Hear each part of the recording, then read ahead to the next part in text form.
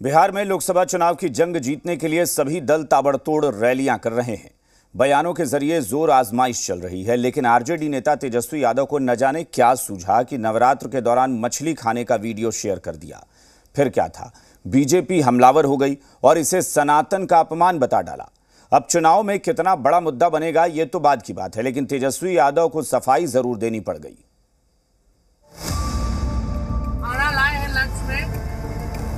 मछली लाए हैं और बहुत ही स्वादिष्ट बिहार में लोकसभा चुनाव को लेकर जमकर सियासी कसरत चल रही है। सभी बड़े नेता मैदान में उतर चुके हैं। बिहार के सीएम नीतीश कुमार और पूर्व डिप्टी सीएम तेजस्वी यादव लगातार लोगों के बीच जा रहे हैं।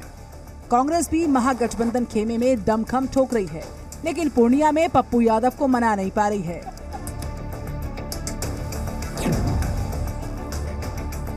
अभी बिहार में चुनाव प्रचार ने जो ज़ोर पकड़ा ही था कि आरजेडी नेता तेजस्वी यादव विवादों में घिर गए हैं। दरअसल तेजस्वी ने सोशल मीडिया प्लेटफॉर्म एक्स पर एक वीडियो शेयर किया। इस वीडियो में वो चुनाव प्रचार के लिए जा रहे हैं। उनके साथ नए नए बने पार्टनर मुकेश सहनी भी हैं। दोनों हेलीकॉप्टर में लंच का आनंद ले रहे हैं।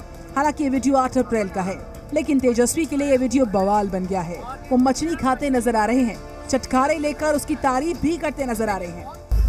आप सब लोग अभी देख रहे हैं कि हम लोग अभी मुकेश सहनी जी के साथ हैं। और पूरा दिन भर हम लोग प्रचार किए हैं और प्रचार करने के बाद हम लोगों को ये दस पंद्रह मिनट मिला है जो हम लोग लंच कर सके। तो आज मुकेश जी जो है, खाना लाए हैं लंच में, मछली लाए हैं और बहुत ही स्वादिष्ट मछली है। एक कांटे का मछली है, साथ में रोटी है, नमक है, प्याज है और हरी मिर्ची है। तो यही मौका मिलता है जब हम लोग जो है दस पंद्रह मिनट का खाना जो है खा सके। और पूरे दिन भर से हम लोग प्रचार में लगे रहते हैं। और मुकेश जी को हम धन्यवाद देते कि मछली खिलाया आज इन्होंने। तो मछली कौन सा है? मछली कौन सा खा रही बताएँगे बात सिर्फ़ यही नहीं है। तेजस्वी के साथ हेलीकॉप्टर में बैठे विकासशील इंसान पार्टी के मुकेश सहनी ने तो वीडियो को लेकर कहा कि कुछ लोगों को मिर्ची भी लग सकती है। मछली जो है, खास करके मिथिलांचल में कोसी में पाया जाता है इसका नाम है चेचरा और मजबूती से हम लोग प्रचार प्रचार कर रहे हैं और वही थोड़ा सा समय मिलता तो वही हम लोग का लंच हेलीकॉप्टर पे ही हो जा रहा है। और प्याज, मछली और मिर्ची, ये सारी चीज़ नमक है, सारी चीज़ हम लोग खा रहे हैं। और खास करके ये वीडियो, खास करके हमारे छोटे भाई तेजस्वी जी का और हमारा देखने के बाद, कुछ लोगों को बहुत मिर्ची लगेगा। तो वो कृपया करके उसको मिर्ची ना लगे, वो मिर्ची हम लोग से मांग दे नवरात्र चल रहा है।